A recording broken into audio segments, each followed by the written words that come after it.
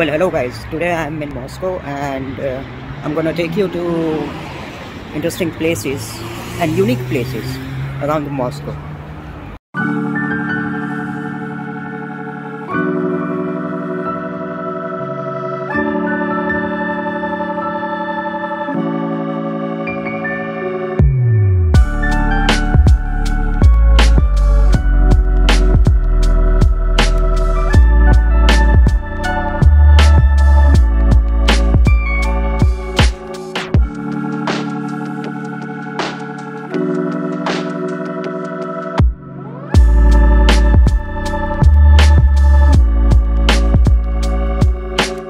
So guys, I'm at the monument of the Peter the First, and uh, this was built in 1997 to celebrate the 300 years of the establishment of Russian Navy. And it was founded by the himself, the Peter the Great. He was the uh, founder of the Russian Navy.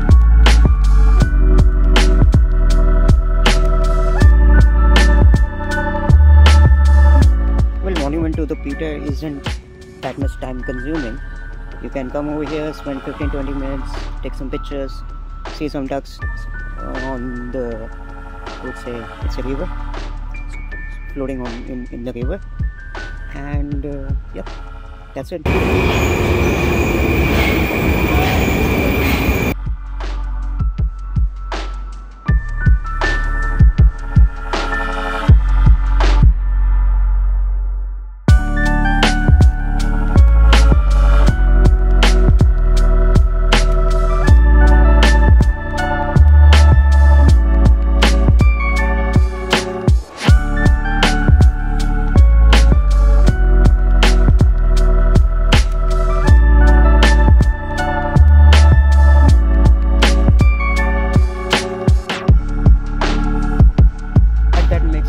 Much interesting is that it is a final resting place holding the original body of Lenin and people still can see it. It is an absolute miracle of science.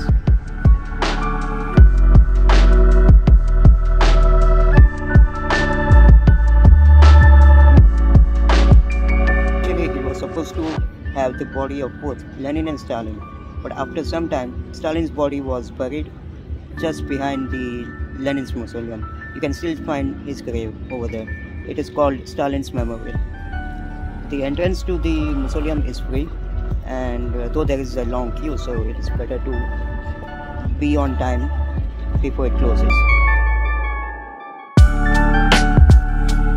The second iconic building in the Red Square is the St. Basil's Cathedral.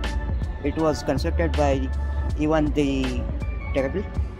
He, he was named the Terrible because he did quite terrible things in his uh, reign, and uh, I can share some documentaries in the in the link below, so that you can learn about the Tsar's history and the history before the Soviet Union of Russia.